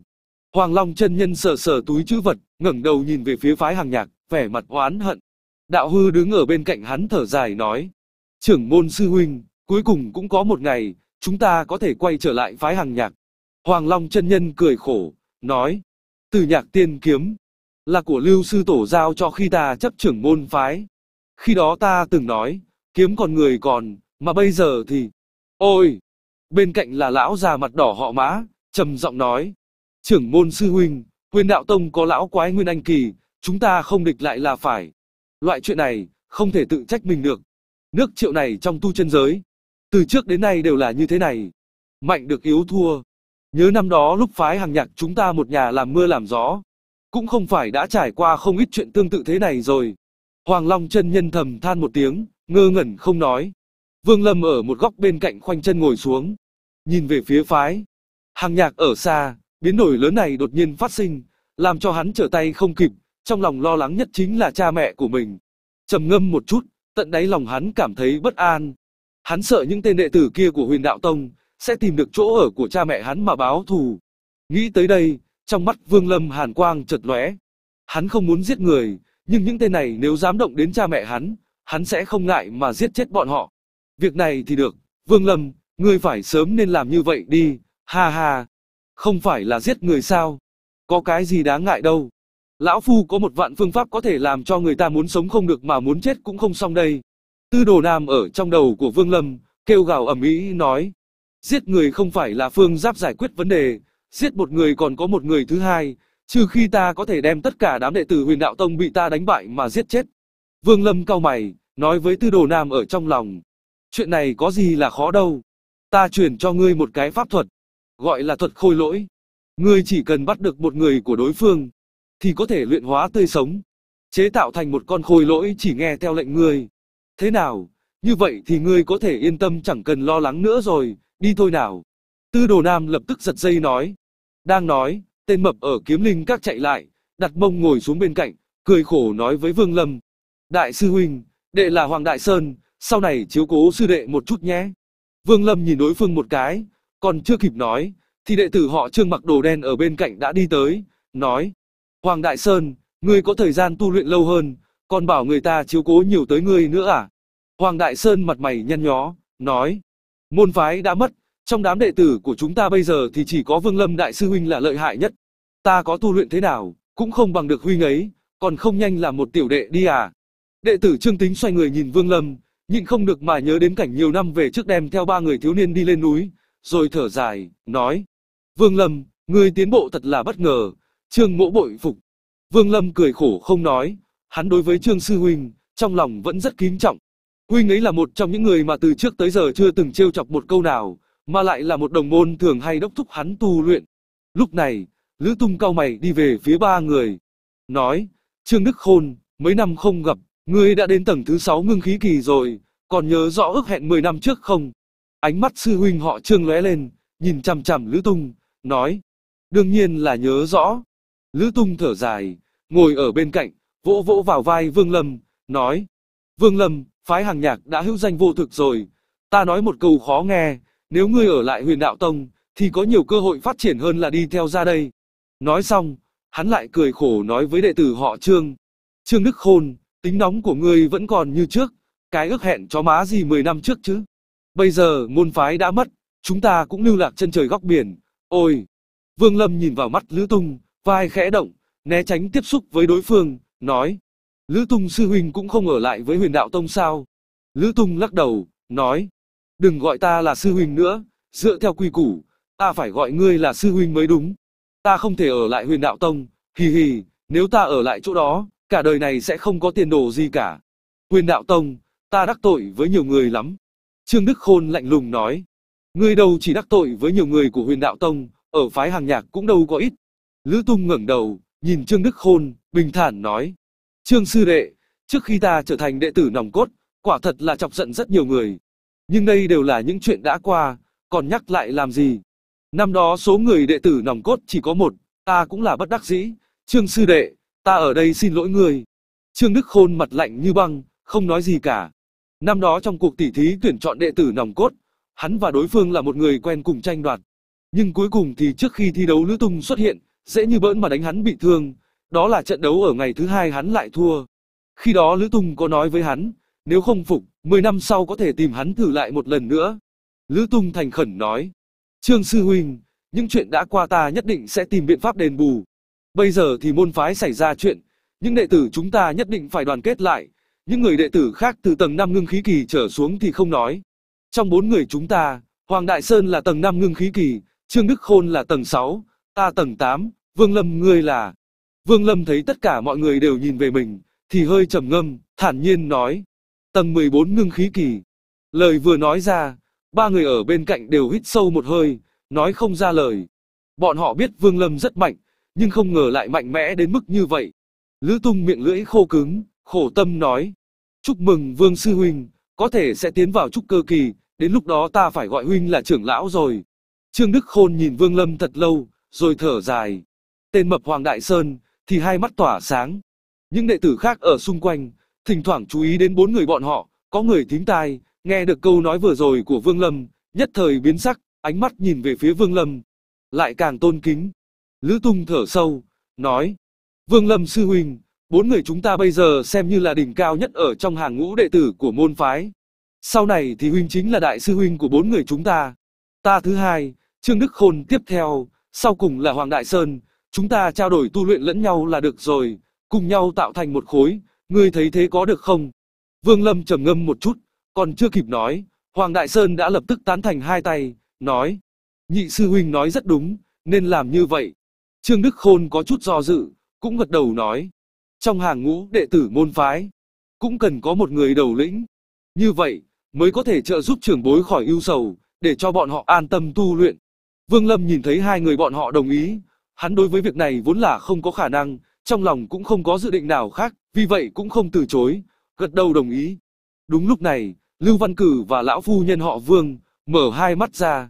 Lưu Văn Cử đứng lên lấy ra một khối ngọc giản, khi ném thì lập tức đánh ra vài đạo pháp quyết, đồng thời mở miệng phun ra một ngụm đan khí, nhất thời ngọc giản kia ở trong không trung xoay tròn lên.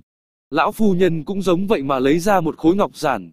Khi tung ra thì hai cái ngọc giản hợp lại thành một, lập tức từng đạo thất thải quang mang từ trên ngọc giản chiếu xuống. Trong phạm vi 10 thước trên mặt đất từ từ hiện lên những điểm sáng, sau cùng tạo thành một cái vòng, ánh sáng. Lưu Văn Cử quét ánh mắt nhìn sang bốn người Vương Lâm một cái, nói, bốn người các người, trừ Vương Lâm ra, mỗi người giúp đỡ một sư đệ, một lúc nữa chấn động sẽ rất lớn, không được để rơi xuống. Ngoài ra ba người Hoàng Long, cũng là như vậy. Thượng quan trưởng lão là hai người, còn Vương Lâm, phụ trách cân bằng bốn phía. Nói xong, ông bước vào vòng sáng. Lão phu nhân họ Vương cũng theo đó đi vào.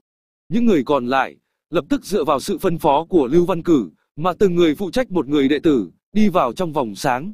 Còn Vương Lâm và hai vị trưởng lão, lại đứng thẳng thành hình tam giác trong đó. Lưu Văn Cử hít thở sâu, hai tay thay đổi pháp quyết, thấp giọng nói. Lên, mặt đất bốn phía rung động một trận, ầm, một tiếng, vòng sáng mang, theo mọi người chậm rãi bay lên không, khi dừng lại một chút, lấy tốc độ cực nhanh, giống như một tia chớp mà bay về phương xa. Tốc độ này còn nhanh hơn phi kiếm gấp nhiều lần. Gió đập vào mặt, lập tức có mấy đệ tử chịu không nổi, nếu không phải có người giúp đỡ, sợ rằng sẽ lập tức rơi ra rồi. Tất cả đệ tử đều phải tiếp nhận kinh lực, với một loại phương pháp phức tạp chuyển hóa ra, phân tán lên ba người thượng quan, Tống Dục và Vương Lâm.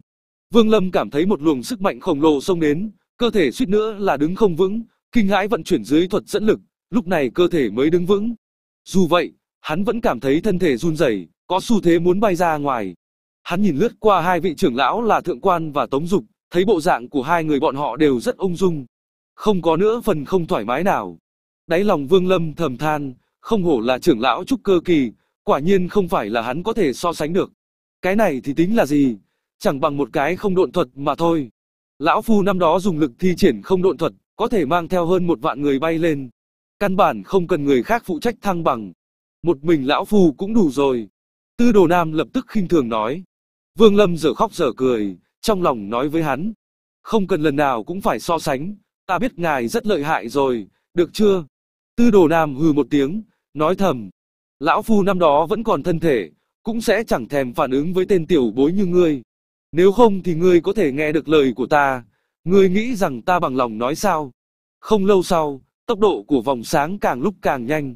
Vương Lâm cố gắng lắm mới giữ vững được thân thể, thầm than khổ. Đúng lúc này, đột nhiên ở trước mặt cách đó không xa hiện ra một đám mây đen. Đám mây này kỳ lạ và khó lường, từng đợt sấm sét đan xen vào nhau ở bên trong, tốc độ lại cực nhanh, vừa nhìn thấy thì vòng sáng đã va chạm vào nó rồi. Lưu Văn Cử sắc mặt trầm xuống, thấp giọng nói: "Thượng quan, Tống Dục, Vương Lâm ba người các ngươi đứng cho vững vào." Nói xong, hắn thở sâu một hơi, hai tay đổi pháp quyết, nhất thời vòng sáng run lên. Sau khi dừng lại một chút, lại lấy tốc độ còn nhanh hơn, nhanh chóng vẽ ra một cái đường cong, vòng qua đám mây đen. Trong nháy mắt khi vòng sáng tăng tốc, sinh ra lực trùng kích khó có thể tưởng tượng nổi.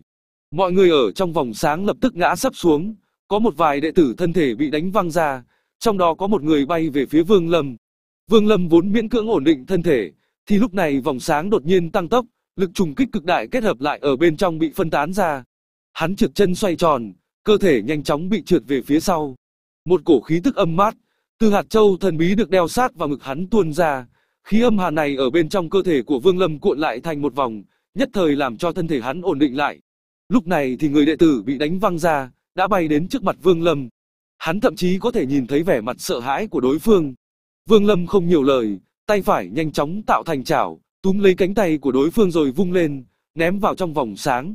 Làm xong tất cả, Vương Lâm thở ra một hơi sâu, hắn biết vừa rồi yên ổn là nhờ sự giúp đỡ của Tư Đồ Nam. Đang muốn cảm ơn, đột nhiên ở bên trong đám mây đen trên không truyền ra một câu nói. Đạo hữu phái hàng nhạc, ta là thủy tổ của huyền đạo Nam Pháp Nam Tử, các ngươi mở mang một chút kiến thức đi. Vương Lâm quay đầu lại nhìn, chỉ thấy ở trong mây đen ẩn hiện một con rết cực lớn. Trưởng lão Âu Dương của huyền đạo Tông đột nhiên đứng ở bên trên, ở bên cạnh hắn, còn đứng bảy tám người, trên mặt đều mang theo một nụ cười lạnh. Trong đó có ba người, toàn thân phát ra khí tức mạnh mẽ, lạnh lùng nhìn chằm chằm vào Lưu Văn Cử và lão phu nhân. Người vừa nói ra câu lúc nãy chính là một tên đại hán mặt đen ở giữa ba người kia. Lưu Văn Cử sắc mặt xanh mét, không nói được một lời, thúc đẩy vòng sáng di chuyển, trong nháy mắt đã bỏ xa một khoảng, cũng không quay đầu lại mà cấp bách chạy đi. Trong nháy mắt đám mây đen khổng lồ kia đã trở thành một điểm đen. Qua hồi lâu, cảnh vật ở trên mặt đất biến đổi, một vùng hoang mạc bằng phẳng dần hiện ra trước mắt. Vòng sáng ở bốn phía trần trừ một lúc, dường như đang tìm phương hướng. Sau đó tốc độ lại tăng lên, hướng về phía bắc mà phóng đi. Ở trên một ngọn núi chọc, vòng sáng dừng lại, chậm rãi hạ xuống đất. Mới rơi xuống đất, phần lớn đám đệ tử ở bên trong đã quỳ dạp ở trên mặt đất mà nôn mửa. Mặt trắng xanh không còn chút máu. Vương Lâm cũng đầu choáng mắt hoa, nhộn nhạo trong ngực. Lưu Văn Cử đan tay tạo ra một cái pháp quyết, một đạo ánh sáng màu xanh bắn ra.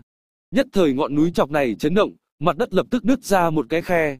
Lưu Văn Cử không nói nhiều lời liền nhảy xuống. Lão phu nhân họ Vương quét ánh mắt sang bốn phía một cái, sau đó liền nhảy vào. Những người còn lại đều nhao nhao được các trưởng lão và trưởng bối đỡ đi vào, đi vào bên trong khe hở. Khi tất cả bọn họ đã vào, khe hở chậm, rãi khép lại. Vừa vào bên trong, thần thức của Vương Lâm lập tức đảo qua. Thấy ngoài mấy gian mật thất ở đây, thì không còn vật gì khác, rất đơn sơ. Lưu Văn Cử đợi đến lúc mọi người tập trung đông đủ, mới nghiêm túc nói. Đại bộ phận người trong các ngươi tu vi đã đến mức ích cốc, không cần ăn cơm, còn những người tu vi thấp, ở thạch thất bên cạnh có một chút lương thực dự trữ, cũng đủ cho các ngươi ăn vài năm. Ta và vương sư tổ của các ngươi sẽ bế quan ngay lập tức, không hỏi đến thế sự. Tất cả mọi việc của các ngươi, cần phải nghe theo sự an bài của các trưởng lão. Lão phu nhân họ vương ở bên cạnh trầm giọng nói. Phái hàng nhạc ta, từ hôm nay trở đi, tất cả bế quan 100 năm.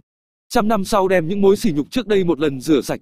Tất cả tu luyện công pháp, khẩu quyết, bất luận đệ tử nào đến cảnh giới tương ứng, cũng có thể trở thành trưởng lão. Trong vòng 100 năm, nếu không ra sức, bất kể người đệ tử nào cũng không được đi ra ngoài. Ba người hoàng long các người, cũng lập tức bế quan, tranh thủ khoảng thời gian này mà lên trúc cơ kỳ. Ba người hoàng long gật đầu nghe lệnh. Ánh mắt của Lưu Văn Cử đảo qua, nhìn các đệ tử một chút, nói. Lữ Tung phụ trách việc tu luyện của các đệ tử và những chuyện bình thường.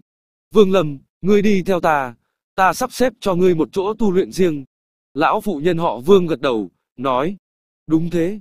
Vương Lâm, nếu trong quá trình tu luyện, ngươi gặp phải điều gì khúc mắc thì cứ tới tìm hai chúng ta. Vương Lâm do dự một chút, nói. Đệ tử có một chuyện mong sư tổ đồng ý. Lão phụ nhân họ Vương nhướng mày, nói. Chuyện gì? Vương Lâm ngẩng đầu, nói. Đệ tử muốn ra ngoài một chuyến. Lão phụ nhân lập tức từ chối, nói. Không được. Nhiệm vụ chủ yếu bây giờ của ngươi là tu luyện, không thể ra ngoài. Vương Lâm nhíu mày, nói, đệ tử phải ra ngoài một chuyến. Sau khi giải quyết xong mọi việc sẽ trở về an tâm tu luyện. Lão phụ nhân trừng mắt, đang định mở miệng, thì Lưu Văn giơ tay kéo nhẹ một cái rồi ôn hòa nói với Vương Lâm. Vương Lâm, Vương Sư Tổ lo lắng cho ngươi ra ngoài gặp nguy hiểm. Ngươi có thể nói cho ta biết muốn ra ngoài làm chuyện gì hay không? Vương Lâm thản nhiên nói. Đệ tử đã nhiều năm không gặp cha mẹ. Lần này, bế quan thời gian dài, rất có thể không còn được gặp cha mẹ nữa. Vì vậy muốn về nhà thăm. Lưu Văn trầm ngâm một chút, sau đó liếc nhìn lão phụ nhân họ Vương rồi lấy ra một cái ngọc phù, nói, được rồi, ngươi đi nhanh rồi trở về. Ngươi cầm lấy ngọc phù này, bên trong nó có chứa một kích của cao thủ kết đan kỳ. Ngươi giữ lấy để bảo vệ tính mạng. Vương Lâm cảm thấy rất vui mừng, vội vàng nhận lấy, cẩn thận cho vào trong túi chữ vật. Bây giờ, pháp bảo của hắn có quá ít, tính đi tính lại thì cũng chỉ có hai thứ. Một thứ là cái tiên phù lấy được từ Trương Hổ. Cái khác chính là cái ngọc phù này. Đây là pháp quyết mở cửa, người nhớ lấy. Lưu Văn lại lấy ra một cái ngọc giản, đưa cho Vương Lâm. Sau đó cùng với lão phụ nhân họ Vương đi về nơi bế quan. Sau khi từ biệt những người khác, Vương Lâm đánh một cái pháp quyết lên ngọc giản. Nhất thời một luồng ánh sáng xuất hiện trên vách đá. Vương Lâm hít một hơi thật sâu, bước vào đó. Sau khi ra khỏi phủ, Vương Lâm cũng không dừng lại. Thân thể hắn thoáng động một cái liền bay lên không trung. Dẫn lực thuật bao lấy xung quanh cơ thể, hóa thành một đạo cầu vồng biến mất về phía chân trời. Cuối cùng thì cũng đi ra. Vương Lâm, ngươi thực sự định đi về nhà. Tiếng của Tư Đồ Nam vang lên trong đầu Vương Lâm. Suy nghĩ một chút, Vương Lâm nói.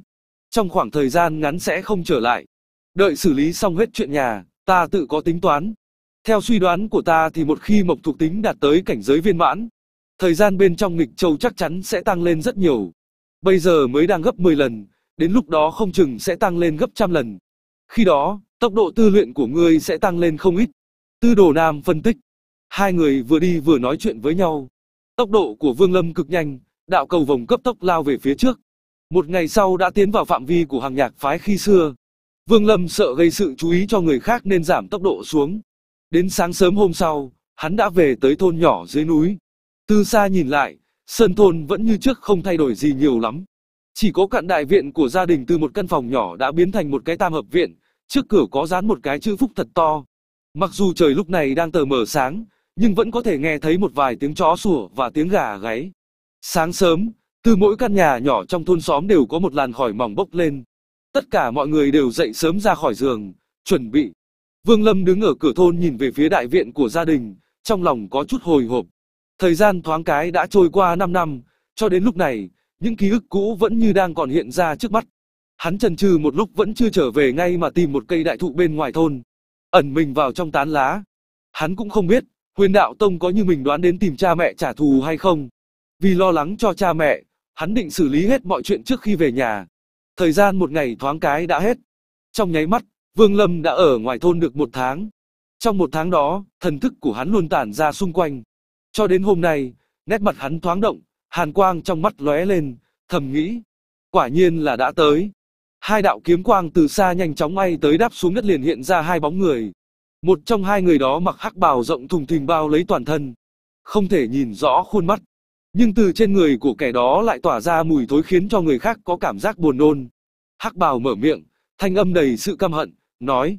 Trương Cuồng, cha mẹ của Vương Lâm ở ngay trong thôn này phải không? Người bên cạnh hắn mặt trắng như ngọc, hết sức anh tuấn. Tuy nhiên hai mắt lại có vẻ gian tà, trộn thêm một chút tham lam, thấp giọng nói. Đại sư huynh, tên Vương Trác quả là quá sức ghê tởm. Ta vẫn tưởng rằng trước kia hắn tìm mọi cách châm chọc Vương Lâm, nên sẽ nói cho ta biết vị trí chính xác của gia đình Vương Lâm. Nhưng không ngờ, hắn không lộ ra đến một từ.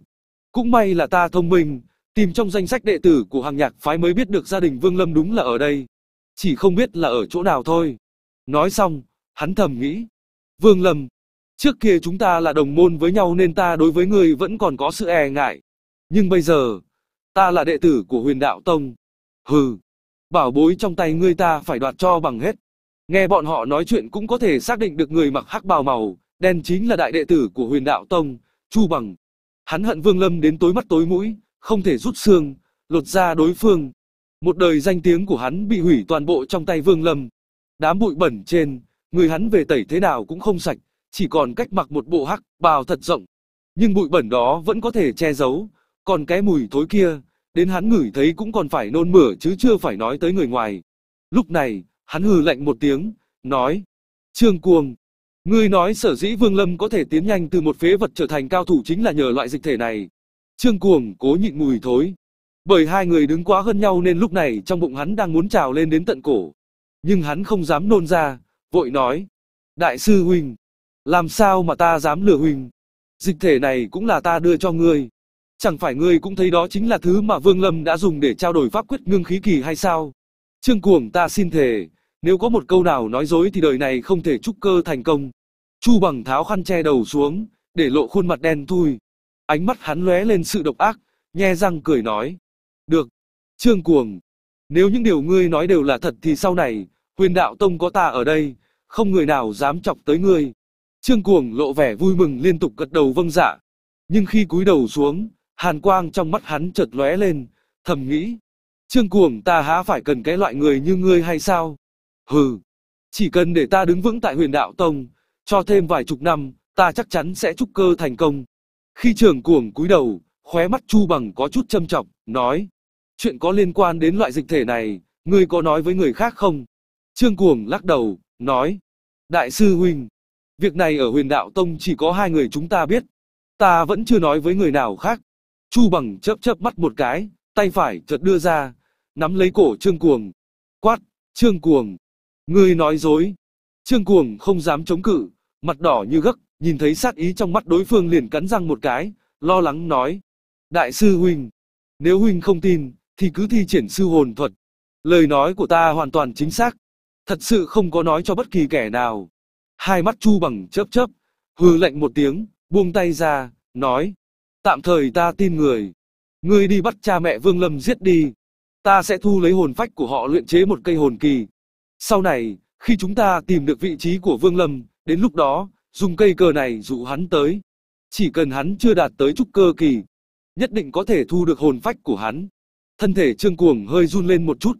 Pháp thuật độc ác như vậy hắn chưa bao giờ nghe nói tới, nên không khỏi có chút do dự. Chu bằng nhíu mày, âm trầm nói. Đi. Trương Cuồng cắn răng một cái, nhanh chóng lao về phía sơn thôn. Trong mắt Vương Lâm nổi lên sát khí. Đây là lần đầu tiên hắn nảy ý định giết người.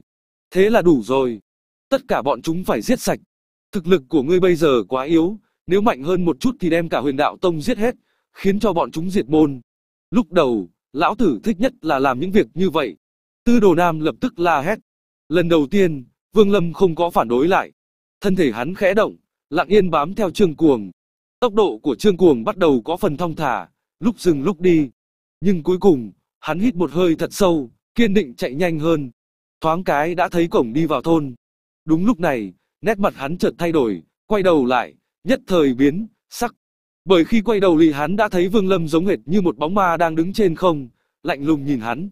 Trương Cuồng lùi lại vài bước, cố gắng cười, nói. Đại sư Huynh, Huynh, Huynh, Vương Lâm không nói tiếng nào. Khóe miệng chỉ cười lạnh. Đại sư Huynh, ta. Trương Cuồng nhìn thấy biểu hiện của Vương Lâm mà ớn lạnh. Hắn lại lui thêm vài bước, nắm lấy cái túi chữ vật. Trương Cuồng, chẳng phải ngươi đang tìm nhà ta hay sao? Vương Lâm chỉ thẳng vào nhà của mình, bình thản nói. Trong lòng Trương Cuồng đang hết sức sợ hãi, vội quỳ xuống trên mặt đất, xấu hổ nói. Đại sư huynh, ta sai rồi. Đều là do Chu Bằng bắt buộc ta. Ta. Nói tới đây, hắn chợt ném từ trong túi chữ vật ra một cái ngọc phù. Ngón tay hắn điểm một cái, trên mặt hiện lên vẻ hung dữ. Ngọc phù liền biến thành một thanh phi kiếm nhằm thẳng về phía Vương Lâm. Đồng thời, Trương Cuồng lầm bẩm trong miệng, vội vã lấy ra từ trong túi chữ vật mấy đoạn gỗ màu đen. Chúng được nối với nhau tạo thành một cái roi dài. Cái roi vừa xuất hiện liền phát ra một làn khí nghi hiểm. Trương Cuồng không nói tiếng nào quay người về sau bỏ chạy ánh mắt Vương Lâm lộ vẻ châm trọng. Dẫn lực thuật bao lấy toàn bộ cơ thể hắn. Thoáng động một cái, Vương Lâm vọt sang một bên, nhất tâm nhị dụng điều khiển dẫn lực thuật nắm lấy phi kiếm. Đồng thời tay hắn chộp một cái nhất thời Trương Cuồng chỉ cảm thấy cổ mình ứ nghẹn, giống như bị một bàn tay vô hình nắm lấy. Khuôn mặt hắn đỏ dần lên, bàn tay đang bắt, quyết không tự chủ được đưa lên ôm cổ. Sát khí trong mắt Vương Lâm lóe lên. Rắc, đầu Trương Cuồng lệch sang một bên, hai mắt lộ vẻ tuyệt vọng, máu tươi không ngừng chảy ra từ trong miệng. Khi Vương Lâm thả lỏng, hắn liền ngã xuống đất dãy vài cái, rồi tuyệt khí. Trương Cuồng vừa mới chết, phi kiếm trong không trung khẽ run lên một cái lại trở thành ngọc giản, bị Vương Lâm nắm lấy. Còn thanh trưởng tiên màu đen của hắn, mất đi sự điều khiển liền hóa thành mấy đoạn gỗ đen, bị Vương Lâm thu lấy. Sau đó, hắn thu lấy túi chữ vật của Trương Cuồng, rồi phóng xuất một cái hỏa cầu thiêu cháy cái xác. Làm xong, hắn nhanh chóng quay lại, nhằm hướng Chu Bằng. Chu Bằng đợi một lúc, trong lòng thầm mắt Trương Cuồng làm việc quá chậm. Đang định đi xem thế nào thì nét mặt hắn chợt thay đổi. Chu Bằng có thể cảm nhận thấy từ phía sơn thôn truyền đến một luồng linh lực dao động. Đang định xem kỹ, chợt hắn phát giác có một luồng sát khí đang vọt về phía mình. Chu Bằng cả kinh trong lòng, thầm nghĩ, là ai giết chết Trương Cuồng? Hơi thở của Trương Cuồng biến mất tất nhiên là đã chết. Không cần phải suy đoán thêm, Vương Lâm đã xuất hiện trong tầm mắt của hắn. Chu Bằng biến sắc, không nói tiếng nào, thân thể nhanh chóng lao về phía sau, bỏ chạy như điện.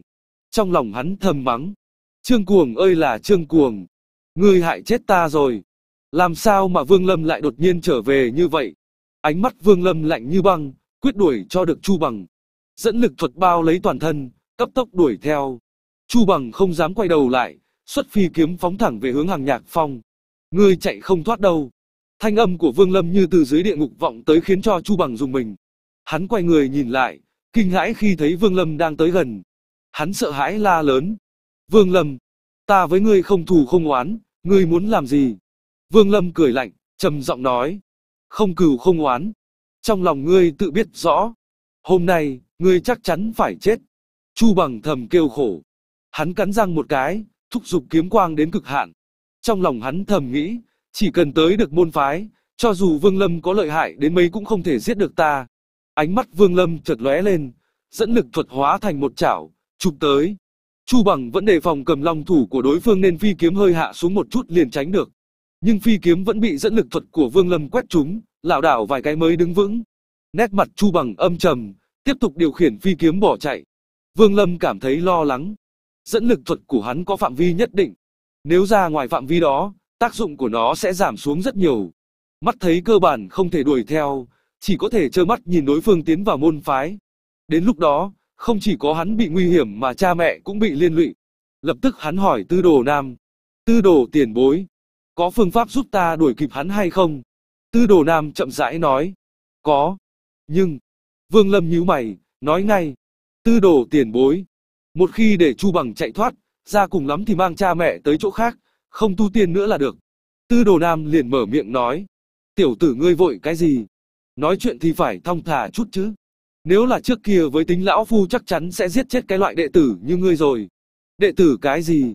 Ngươi nói nhanh lên. Vương Lâm cảm thấy lo lắng, giọng nói không còn cung kính nữa. Tư đồ nam lẩm bẩm vài câu. Lão biết Vương Lâm đang sốt ruột vì vậy nói luôn. Tinh hoa nguyên anh của ta còn lại một chút, nhưng chỉ có thể giúp ngươi thuấn di được một lần. Nếu để cho tinh hoa của lão phu lãng phí nhiều quá, chỉ sợ ngươi chưa đạt tới anh biến kỳ đã tiêu biến mất rồi. Tư đồ nam nói xong, Vương Lâm liền cảm thấy một luồng hơi lạnh từ viên nghịch châu dâng lên, chui vào trong cơ thể. Sau khi vào trong, nó liền lưu chuyển toàn thân, nơi nó đi qua tất cả lập tức bị đóng băng, khiến cho trong nháy mắt Vương Lâm đã bị biến thành một bức tượng. Mặt hắn phủ đầy một làn sương lạnh, khiến cho dẫn lực thuật trở nên hỗn loạn.